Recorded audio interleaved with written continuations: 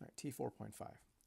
Consider an experiment to investigate the effectiveness of different insecticides in controlling pests and their impact on the productivity of tomato plants. What is the best reason for randomly assigning treatment levels, which are going to be spraying or not spraying, to the experimental units, which are the farms? All right.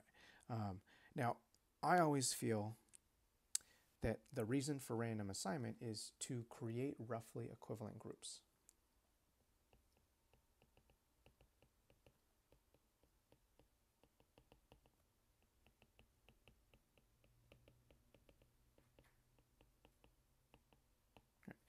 And this is so that when it's time to assign the treatments, there's, there's really nothing systematically different about your groups except for the treatment.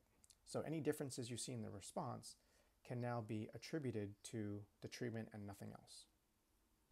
Okay, um, so let's look at the answer choices and see if there's anything that sounds vaguely similar to creating roughly equivalent groups. All right, uh, choice A, random assignment eliminates the effects of other variables like soil fertility. Okay, I like it. Um, I eliminates uh, is a pretty strong word. I would say reduces, right? It reduces the effects. Um, but let's keep reading. Okay. Uh, B, random assignment eliminates chance variation in the responses. Uh, and I don't think you can eliminate chance variation. There's still going to be, you know, differences uh, from one farm to another. Like even two farms that both get sprayed are not going to have the exact same response uh, because there's just going to be natural variation between those farms. So I'm comfortable eliminating B. Uh, choice C.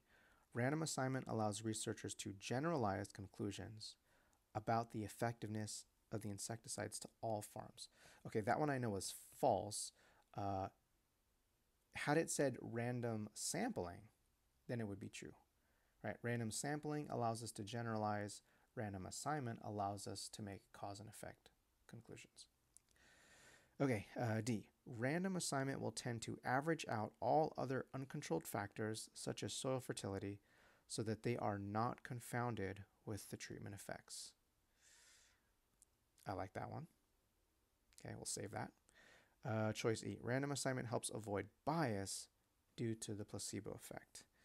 Um, well, the placebo effect, I don't know like how that applies to farms. Uh, usually the placebo effect is it's like a psychological effect that happens with when your subjects are humans. I don't see how that applies here. Also, the word bias usually isn't used when we're talking about experiments. Uh, usually it's confounding uh, is the term that we use with experiments and bias is a term for sampling. Okay, so I like A and D.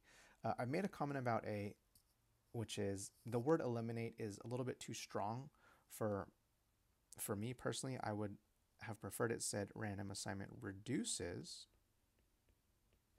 the effects of other variables like soil fertility. And statement D also mentioned that too. It talked about averaging out or balancing out um, these uncontrolled factors so that they're not confounded, right? When things are balanced out or average out, to me, it sounds like we've got roughly equivalent groups if everything else is being balanced out. So I think D is the best choice um, in terms of this idea of creating roughly equivalent groups.